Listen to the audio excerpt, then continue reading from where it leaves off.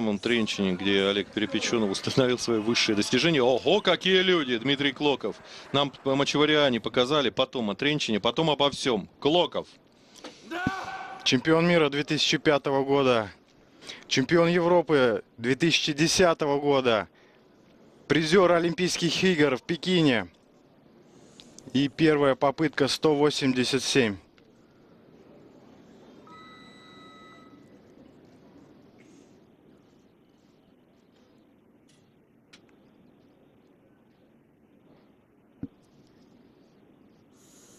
Красавец Клоков.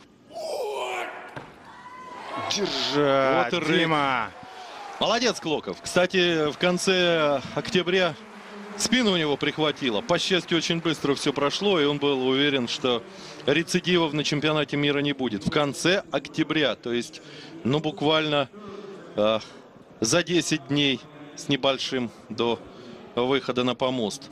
Обошлось. Клоков еще и вес сгонял. Ну, немного ему нужно было перед соревнованиями, всего 5 килограммов. Сказал, что весь год держал себя в форме, сознательно.